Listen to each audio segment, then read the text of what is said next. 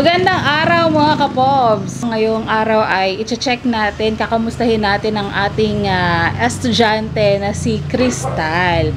Si Crystal ay isa sa dalawang scholars ni Kuya Rodolfo. At ako muna ang mag interview ngayon dahil medyo busy pa si Kapobs Archie. Si Kapobs speech ito sa mga sa mga kapobs natin siya. Tawagan muna natin si Crystal. Ayan. Hello, Crystal. Yan. Hello po. Kamusta ka naman? Okay na po, ma'am. Okay naman po ako dito. Hmm. Enrolled ka na, di ba? Opo, ma'am. Anong grade ka na ngayon? Grade 11 po. Grade 11. May mga strand na yan, di ba? Ngayon, wala ka. Opo. Meron Meron na. na po, ma'am. Ano po yung ginawa ko po, ma'am? Eh, HE po. Home economics? Opo. Ah, tama. Mm-mm. Ayan. Ilang weeks na ba ngayon ang klase ninyo? Ano po, ma'am? Mga 3 weeks na rin po ata, ma'am. Kami pumapasok, ma'am. Hmm. Three weeks. Kamusta Ito lang. naman?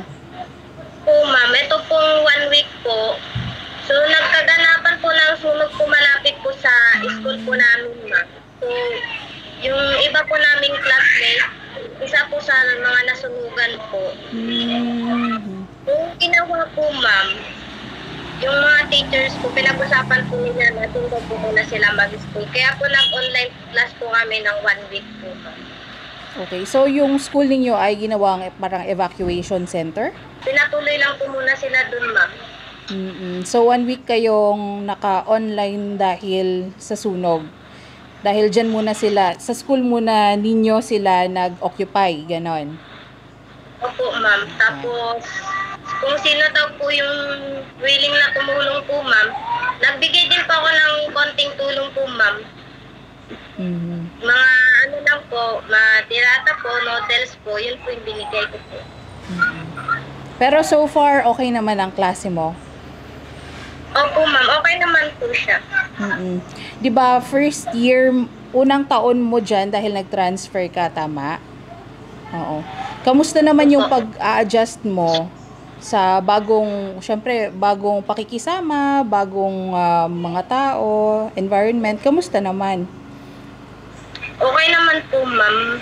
Ma maganda naman po dito, ma'am, kasi kasama ko din po yung pamilya ko. Tsaka marunong naman po ako makisama sa mga, lalo na po bagong pasukan po.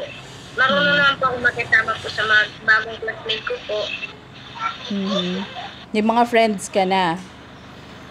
Meron na rin po, ma'am. Mga babae po, mga lalaki po, ma'am. Mga classmate ko lang din po, ma'am. Mhm.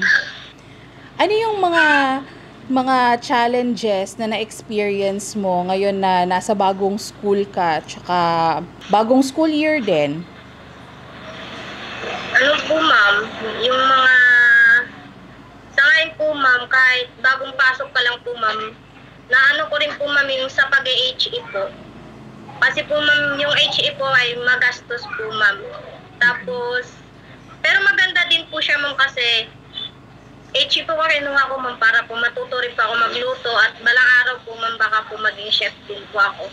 Saka, yung pinabili po, ma'am, na project po na ano po, ma'am, binili ko na rin po kahapon, ma'am. Mm. So, yun na ang pinaggastusan mo dun sa natanggap mong allowance galing kay Sir Rodolfo. Opo, ma'am, sa ano lang po. Pero marami pa naman po, ma'am, na ano, na nagtitipid din po ako siyempre po, ma'am, baka sakali po na ano po, ma'am. May pangangailangan po talaga sa school po, ma'am. May mabibili ko po. Mhm. Mhm. Ah, anong pinag-aaralan ninyo sa? HE? Ano po, ma'am, mga tungkol sa pagluluto po, ma'am. So, sa ngayon po, ma'am, um, eto pong lunis po, ma'am, sa ano po, mag-ano po kami, ma'am, mag, mag-aaral po kami, ma'am, kung paano po mag-ano ng mga tablecloth po, ma'am, tsaka skirting. Mhm. Kung paano po mag, ano po, mag-ayos po, tapos pag, pag mga design po, ma'am, magdi-design po kami ito pong lunis. Eh. Mhm. So mga skirting skirting na yan, sa mga sa mga events ganyan. Opo, ma'am. Ito pong lunis po, ma'am. Tapos, bibili pa rin po ako ng, ano po ma'am, yung long sleeve po na pang suot po ma'am sa, pang, pag nag-ano po mo, parang chef po, ganun po ma'am. Mm, mm, mm. Oh, po po, yun po ma'am. Um, nagpapasend po ako ma'am sa teachers ko po ma'am kung ano po class design po. Kaya para po mabili ko din po. okay. So, yun yung pi- parang pinaka-uniform ninyo.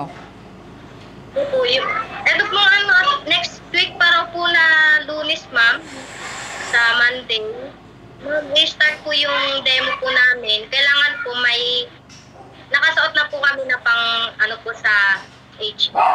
Mm.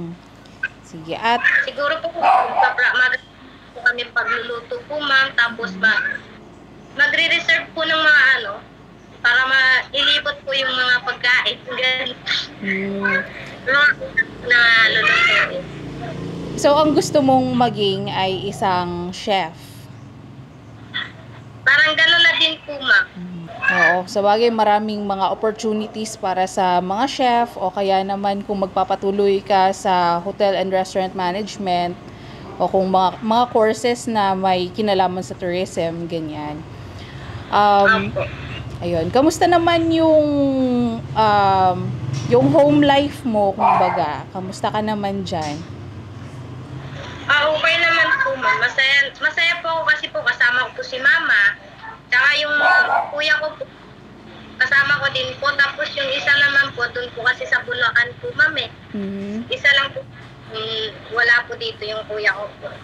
Si mama po, nagtatrabaho din po sa gulayan. Mm. Tapos dito po ako bahay, kung tuwing linggo tsaka Sabado po ma'am, dito lang po ako naglilinis, naglalaba. Masaya din po kasi ma'am. Tapos ako din po yung inasa ni mama magluto, Hmm. mag ano po ng mga ano.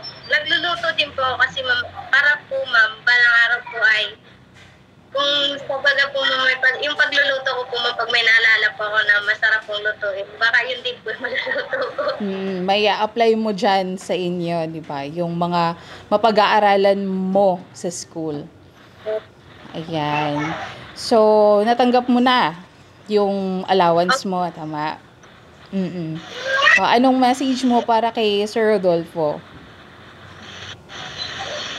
Mm, nagpapasalamat po ako sa kanya dahil binigyan niya po ako ng allowance para po sa pag-aaral ko. Pagbubutihin ko po ng maigi po yung pag-aaral ko sa hanggat makakaya ko po, gagawin ko po ang lahat. Mhm. Para po yung pangarap ko po na ano po, matutupad ko din po at makatulong din po ako sa mga magulang ko. Ayan. Maraming maraming salamat po, Herodon, po sa pagtulong niyo po sa akin. Mm-mm. Ayan. Maraming salamat kay Sir Rodolfo sa pagtulong niya kay Crystal at saka kay Sarah. Ayan. At ay, magkano nga yung natanggap mo na allowance ngayong buwan? Ito po ngayong buwan, 6,777 po siya. Mhm. 6,777. Ayan, sige.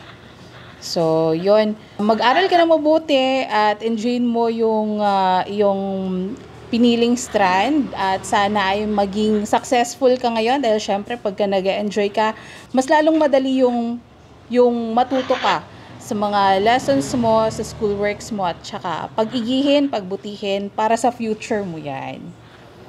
Opo, ma'am. Thank you po. Sige, maraming salamat, Crystal. Sige po, ma'am. Thank you din po, ma'am. Sige, bye-bye na. Sige po, bye-bye. Ingat po, God bless po. Thank you. At ayan. So yun, nakausap natin si Crystal. At ah, okay naman. Mabuti naman at okay siya sa kanyang piniling strand. At sana nga, sana nga ay ah, magpatuloy ang mabuting performance niya sa school. Siyempre, nagpapasalamat tayo kay ah, Kuya Rodolfo sa kanyang palaging pagtulong, pagsuporta sa ating channel. Maraming maraming salamat po, Kuya Rodolfo. At ah, dalawa scholars ni Kuya Rodolfo. Si Sarah na grade 12 na ngayon na nakatanggap din ng ah, allowance and itong si Crystal na grade 11 at ang kinukuha niya ngayon na strand ay HE at ah, mukhang nag-e-enjoy siya sa kanyang strand ngayon. Maraming maraming salamat Kuya Rodolfo at syempre ingat palagi. Maraming salamat din sa ating mga subscribers, sa ating mga viewers, sa ating mga followers at uh, syempre kung hindi ka pa nagsasubscribe, kapobs, ito na ang chance mo na mag-subscribe. Hit the subscribe button. Nan nandyan lang yan somewhere. Nandito, malamang nandito. At sana po, nandyan kayo palagi to support us sa aming channel. Maraming maraming salamat sa inyo mga kapobs. Sa ngalan ni Kapobs Archie, ni, uh, nila Kapobs Arnel at Pressy. At ang uh, tagahawak ng ating camera ngayong araw, si Kapobs Neil. Ito po si Kapobs Peach. Thank you so much. Nagpasalamat na ako kanina pero magpapasalamat ulit ako sa inyo. Maraming maraming salamat sa inyong lahat. Magandang araw.